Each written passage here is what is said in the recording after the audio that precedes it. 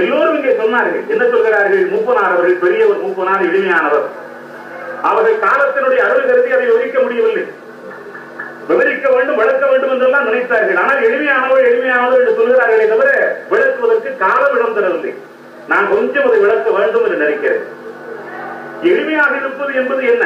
இப்ப சில பேர் எளிமையாக்குவதற்கு ஏராளமாக செலவு செய்ய வேண்டிய அவசியத்தில் இந்த நாடு இருக்கிறது.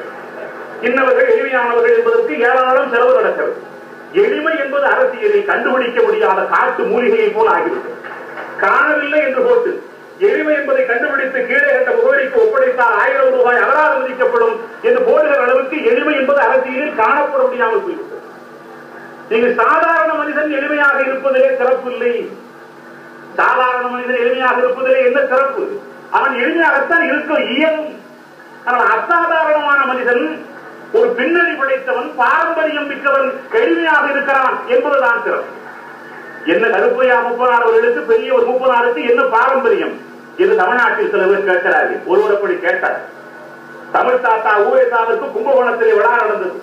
அப்ப தமிழுக்கும் பெரிய ஒரு முப்பனாருக்கும் என்ன சம்பந்தம் என்று சில பேர் கேட்டார்கள். அவர்களிடத்தில் கொஞ்சம் மந்தம் இருந்தது ஒத்துக்கொள்கிறேன் நான் சொன்னேன். இந்த நாட்டிலே தமிழ் தாத்தா ஊவேசா எழுதியிருக்கிற வரலாற்றை நீங்கள் எழுத்தண்ணி படிக்க வேண்டும். நானூறு ஆண்டுகளுக்கு முன்னே சரபோஜி மன்னன் தஞ்சையை ஆண்டான்.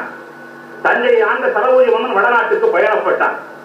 வயநாட்டுக்கு பயணப்பட்ட போது வைராகிகள் என்று சொல்லப்படுகிற வைராகிகள் எல்லாம் ஒன்று சேர்ந்து தென்னகத்துக்கு வந்து ராமேஸ்வரத்துக்கு வந்துவிட்டு விந்தியத்தினுடைய தானங்கள் வந்து வடக்கு நோக்கி போகிறார்கள்.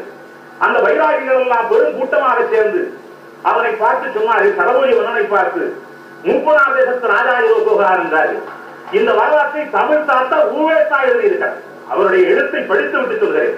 முப்பதாம் தேசத்து ராஜா என்றார்கள் குதிரையிலே உட்கார்ந்து கொண்டிருந்த சரபோஜி மன்னனுக்கு ஆத்திரம் வந்தது. நான் சரபோஜி மன்னன். மராட்டிய மண்டலத்தினுடைய சார்பாக தஞ்சை தரவி ஆடுகிறவன் என்னை தஞ்சை மன்னன் என்று சொல்லாமல் முப்பதாம் தேசத்து ராஜா என்கிறார்களே கொண்டு வாருங்கள் அந்த வைராகிகளை என்று சொன்னான். வைராகிகள் எல்லாம் வந்தார்கள். நான் தஞ்சை ஆளுகிற சரபோஜி மன்னன் மூப்பரா தேசத்து ராஜா என்று சொல்கிறீர்களே ஏன் என்று கேட்டார் அவர் சொன்னாரு பையாளிகளாக இருக்கிற நாங்கள் ஆயிரக்கணக்கானவர்கள். ராமேஸ்வரம் போகிறோம். வடநாடு திரும்புவதற்கு முன்னாலே ஏறத்தாழ பத்து நாள் பதினைந்து நாள் கவிஸ்தலம் என்கிற அந்த நாட்டிலே தான் கவிஸ்தலம் ஊரிலே தான் தங்குகிறோம். எங்களுடைய மொழியை அறிந்து கொள்வதற்காக மொழிபெயர்ப்பாளர்களை வைத்திருக்கிறார். அந்த ஊரிலே இருக்கிற கவிஸ்தலம் மூப்பனார். தலைக்கு எழுதுகிறார் வயிறார சோறு தருகிறார் எங்கள் விருப்பங்களை எல்லாம் கேட்டு நிறைவேற்றுகிறார். நாங்கள் தேசாந்திரிகள் நாங்கள் வைராகிகள். ஒரு அரசன் செய்ய வேண்டிய வேலையை சரித்திரத்தில் இருக்கிற மூப்பனார் செய்கிறார் ஆகவேதான் சரபோஜி மன்னனுடைய நாடு இல்லை.